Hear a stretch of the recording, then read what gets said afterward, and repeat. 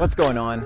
Now we're going to talk about what this farm and the future of this farm is going to look like. This is Kamananui Estate.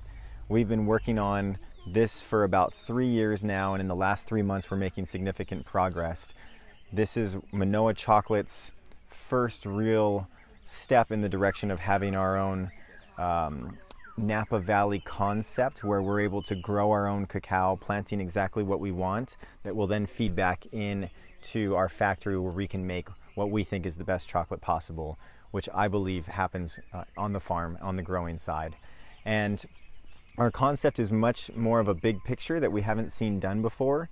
It's very much like Napa Valley or Burgundy in France, where you have the chateaus where the, the wine is made and it's also grown. That's what we want to do here, except in the tropics. And so this is the beginning of a 55 acre farm where we're going to have lots of other fruit trees planted, um, eh, but primarily cacao. So for this 55 acres, we'll have 25 acres of plantable cacao land and then the rest of it will be able to landscape beautifully and set up what we hope to be a site for our future chocolate factory where we can continue to scale up but set up a model that we'd like to see other people do as well.